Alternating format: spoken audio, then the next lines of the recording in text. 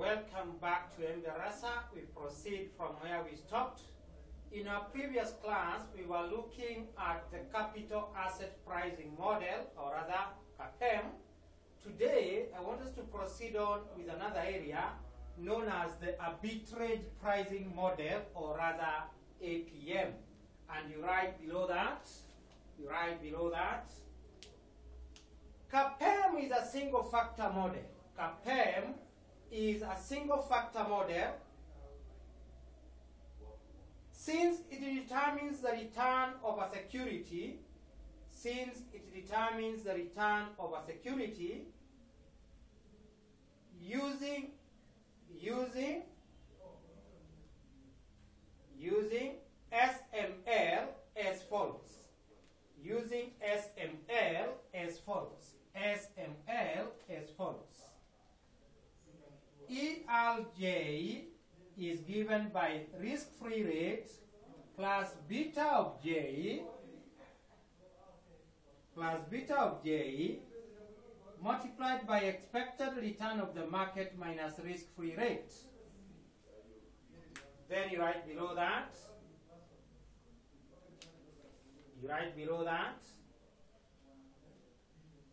APM, APM was developed, APM, that is asset pricing model, arbitrage pricing model, was developed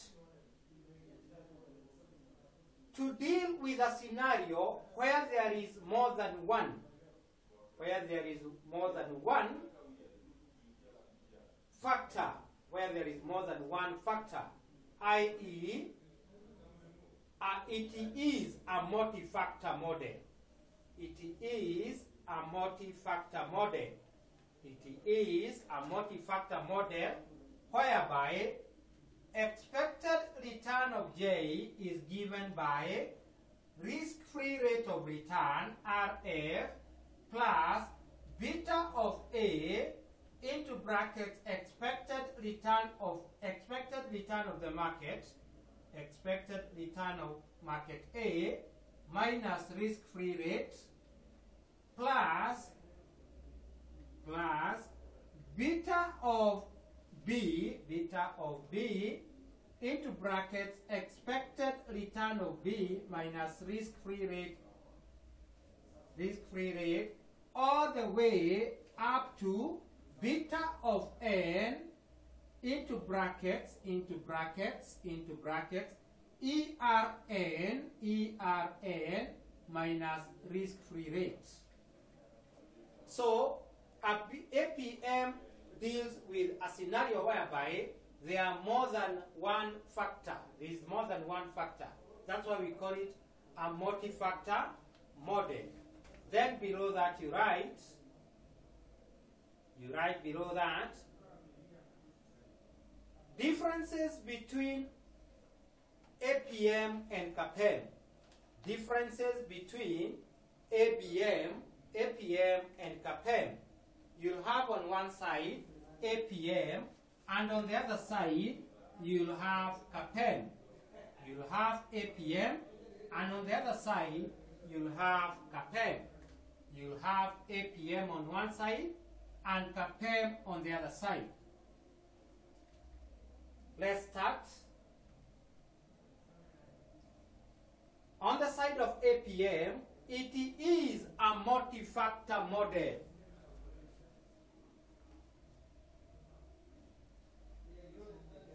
On the side of APM, it is a multi-factor model.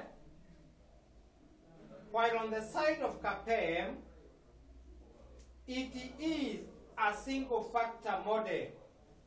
While on the side of CAPM, it is a single factor model. Number two, on the side of APM,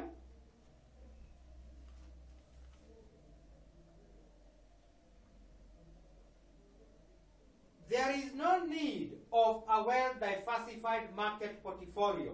On the side of APM, there is no need of a well-diversified market portfolio. There is no need of a well-diversified market portfolio While on the side of CAPM, there is need of a well-diversified market portfolio. There is need for a well-diversified market portfolio which influences the returns of the securities, which influences the returns of the securities. Number three,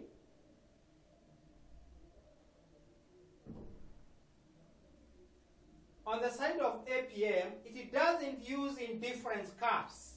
It doesn't use indifference curves to measure utility. On the side of APM, it does not use indifference curves to measure utilities. On the side of CAPM, uses indifference curves to measure utility.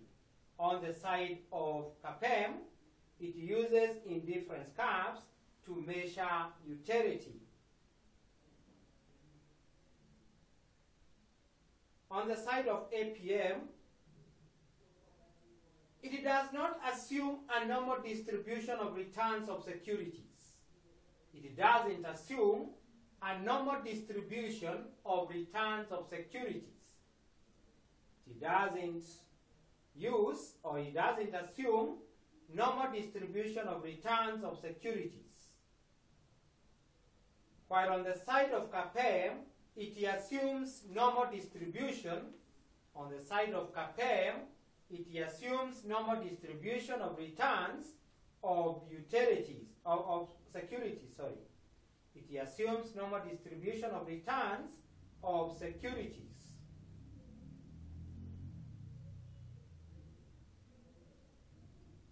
Then below that you write weaknesses of APM.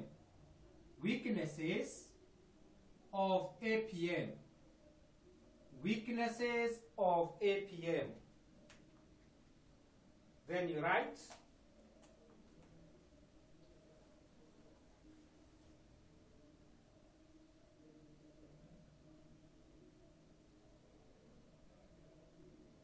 Number one, the model involves a complex statistical analysis. The model involves a complex statistical analysis.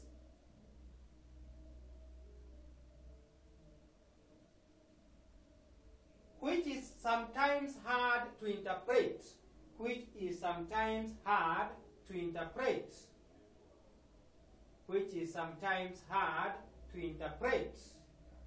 Number two,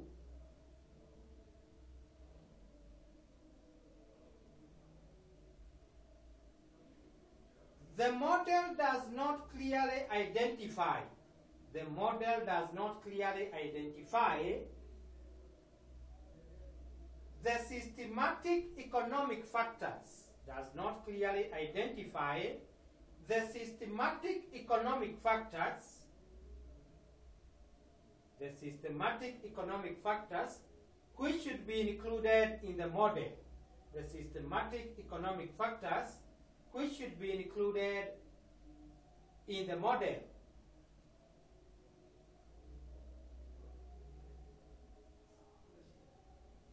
Number next. An arbitrage portfolio with no capital investments, an arbitrage portfolio with no capital investments, with no capital investments, and which generates positive returns, and which generates positive returns, cannot be achieved in the real world situation. Cannot be achieved in a real world situation. Then below that, to conclude on APM, let's do a past paper question from November 2019. Let's go through a past paper question from November 2019, question number 3C. November 2019, question number 3C. November 2019, question 3C. November 2019, question 3C.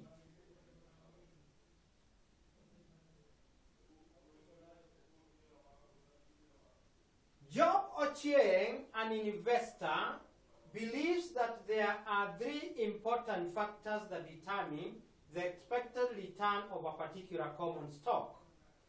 Job uses the following factor betas and factor risk premiums. The factor number one, two, three, factor beta, factor risk premium. The expected return, you are required to get, you're given the risk-free rate of return to be 5%, and you're required to get the expected return of the stock using APT model and explain two differences between CAPM and APM. So, as far as the differences are concerned, we have been given actually more than two. Therefore, let's concentrate with the first part of the question where you are supposed to get the expected return of the stock using APM. So you write expected return, expected return would be risk-free rate of return, which is 5%, plus beta factor of factor 1 of uh, factor 1, which is uh, 0.7. So uh, risk premium is 2.5 times 0.7 plus risk premium of 5 times factor beta 1.2 plus 6.0 times factor beta negative 0.1. Once we work it out, once we work it out, once we work it out, we are going to get, let's use the calculator. Once we use the calculator, it will be 5 plus 2.5 times 0.7 plus 5 times 1.2 plus 6 times, okay, before that you get that, minus 0.6.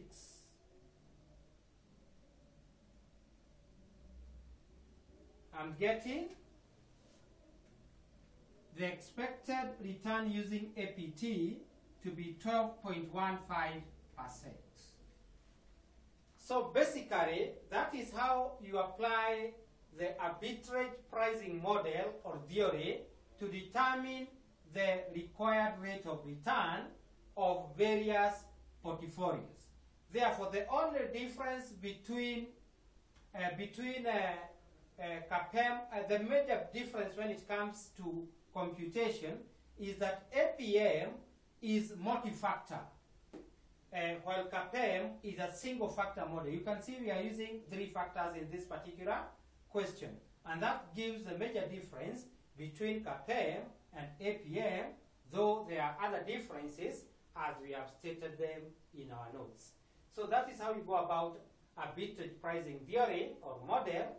And uh, until we meet next time, have a nice time. Thank you.